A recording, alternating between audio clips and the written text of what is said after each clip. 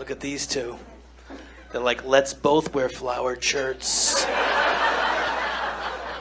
what are you on vacation in Hawaii? Do you.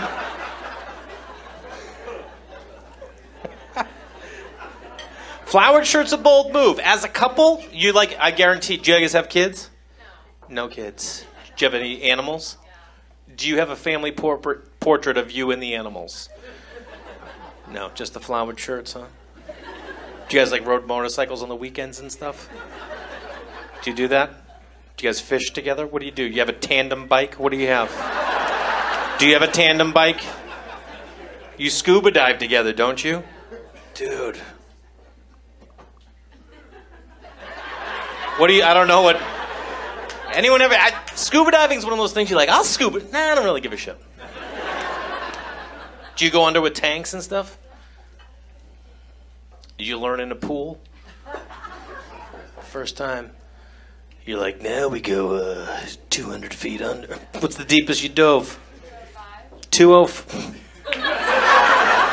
the 05 was a little much for everybody, I think. 205! Asshole.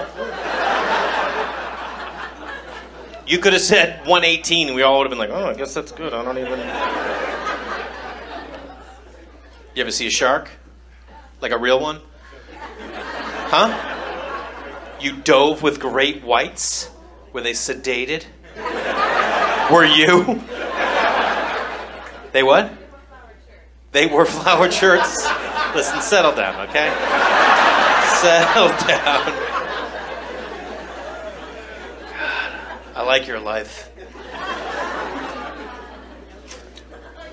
Scuba diving. I don't know. I just don't have it in me. You know what I mean? sounded like it'd be fun, and then I was like, nah, I'm, I'll bounce on that.